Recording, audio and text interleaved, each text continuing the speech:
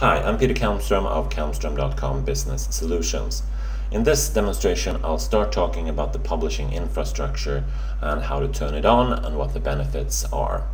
By default in a team site, the publishing infrastructure is not turned on. That means that you have a lot of features that you paid for, but you're not really using. So to enable the publishing infrastructure, you go into site settings, find the site collection administration section and the site collection features.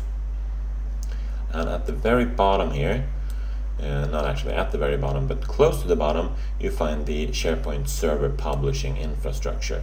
When I activate that, it's going to take a little while. You see that it's working on it here. You also see a little pop-up up here working on it. That's going to enable a lot of features on your site, sub-features of this main feature that you're ena enabling.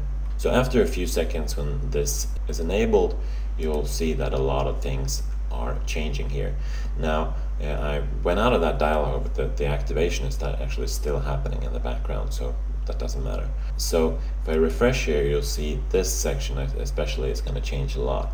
So now you have options for top link bar, quick launch. Those things are going to uh, go away and they're going to be renamed. So the top link bar, which is this part, is going to be renamed into the global navigation. And the quick launch which is this part is going to go away and be the current navigation. So that's one of the changes that you'll get. Let's refresh this again. And now you see those things are gone indeed. And instead we have the navigation thing here. So let's go into that. And you see there are lots more options here than before in navigation settings one thing that you can do that you can't do without publishing infrastructure is when you're adding new links, you see you can select to open them in a new window. You can also set an audience for that. So those are some rather cool things and I will go through some of the other features of the publishing infrastructure in, in, further demos.